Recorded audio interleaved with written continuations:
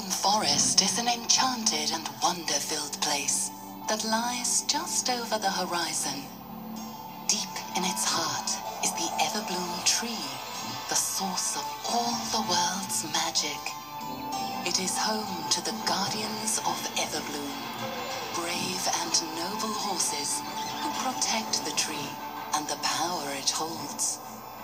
One day, a dark and terrible tree petals far and wide across distant lands.